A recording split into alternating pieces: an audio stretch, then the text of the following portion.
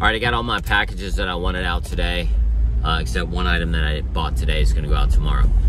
It's really important to set goals. I actually arrived right when the UPS driver was there, so I got him out just in time, 6:40 p.m.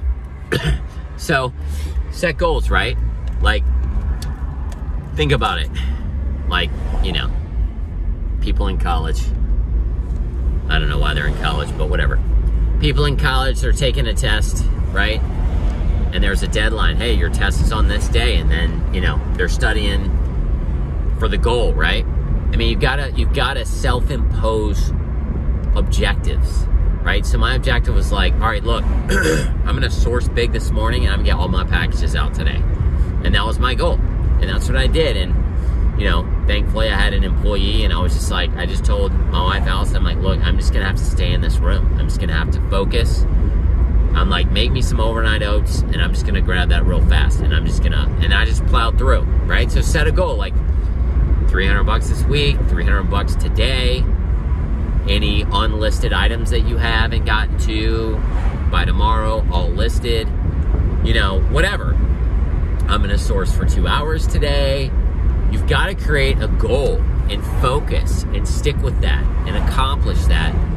And and and look, you need to self-impose something that's going to push you to work your best. If you're not giving your best, you're wasting your own time. Think about that. If you're not giving your best, you're wasting your own time. I remember when I was in seventh or eighth grade, I think it was in eighth grade, and the coach on soccer was like, all right, you're gonna run laps around the field, right? And I saw some of the kids like cutting the corners, right? And then I saw somebody run around the corners, right? and I'm like, why are you running around the corners? I asked one of my friends. And he said, because I don't want to cheat myself. I was like, whoa. All right, I'm running around the corners.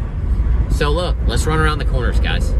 Let's uh let's set goals that push ourselves, right? Make one less hour of sleep, right? Get rid of the TV and cable.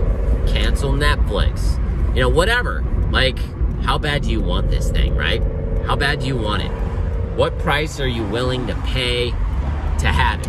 That's what you have to ask yourself. What price are you willing to pay to have this? You know? And then pay the price.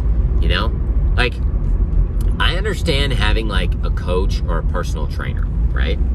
Like, there are certain techniques and things that you need to learn, right? But let's put that aspect aside. When you have your own business, you're not going to have somebody who's telling you, do this, do this, do that. No. Like, you have to self impose, you have to dictate. You have to say, this is what I'm going to accomplish today this week, this month, this year. You know? I mean, my wife Allison had a profit number for the year on her phone for months. And now she changed it to a picture of something she wants. Right? And so every time she sees her phone, right? So, like, set an objective, set a goal, you know? Don't just get up and be re- reactive, right? Most people that work in in in a, in a company job are reactive, right? Oh, I got this email in. Let me respond to it. Oh, this happened. Let me.